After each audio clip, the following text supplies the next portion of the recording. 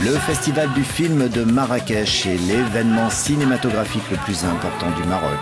Un Maroc qui connaît un important développement en termes de 7e art avec notamment l'ouverture de studios normes internationales. Mais il y a aussi une production locale qui s'attaque à des sujets non consensuels comme la drogue, l'homosexualité, les violences domestiques.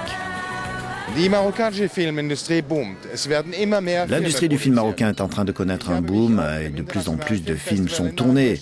Rencontre ici à Marrakech pendant le festival avec des réalisateurs marocains. Andalousie mon amour a été présenté en hors compétition. Saïd et Amine, deux jeunes étudiants de Casablanca, rêvent d'Europe. Le film a été réalisé par Mohamed Nadif qui vit entre Paris et Casa.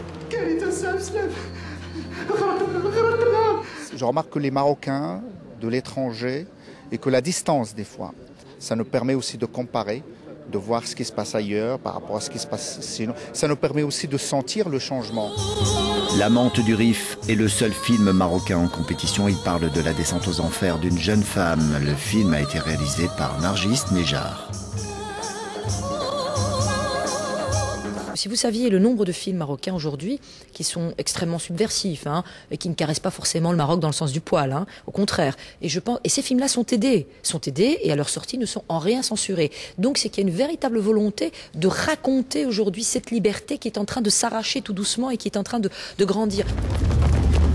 Autre film marocain sorti en 2009 et non présent au festival Casanegra. Là aussi, on retrouve deux jeunes hommes qui rêvent d'une vie meilleure. Son réalisateur Noureddin Lahmari a vécu pendant 20 ans en Suède avant de rentrer au Maroc. Il revendique une totale liberté artistique.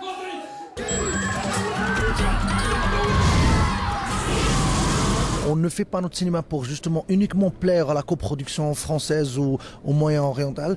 On est en train de faire des films pour nous. Et je pense que si aujourd'hui on va se s'appeler artiste, il faut l'assumer. Et il faut l'assumer. On ne peut pas juste venir et négocier nos points de vue ou notre vision.